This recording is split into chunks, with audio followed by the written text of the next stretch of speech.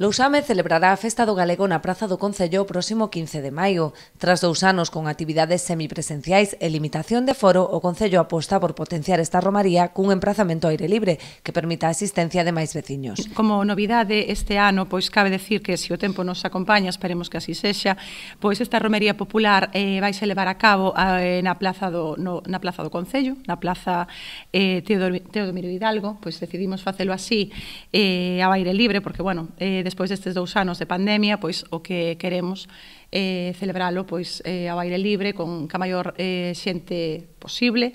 e bueno, disfrutar un pouquiño do que é pois o, o aire puro e desas actividades que, que vamos a presentar. A xornada dará comezo co concerto de Pacolas, seguido de Malasombra Teatro, que levará a escena a obra Aveas Corpus. Eh, decir que, bueno, hai dúas actividades que, que son un pouco as que, as que máis chaman a atención, que son o concerto de Pacolas,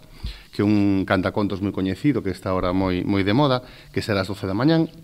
E despois unha obra de teatro de, de Mala Sombra Teatro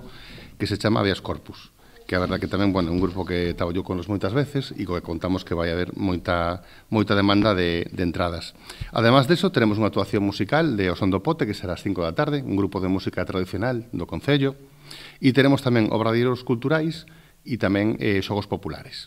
Estarán expostas tamén unha mostra sobre Florencio Delgado Gurriarán, a quen se lle dedica este ano as letras galegas, e outra sobre Cernadas de Castro. Ademais, o persoal de Cultura e Xuventude colaborará na organización deste evento o Grupo Municipal de Voluntariado. Neste evento vai a colaborar o Grupo de Voluntariado Municipal no desenvolvemento das diferentes actividades,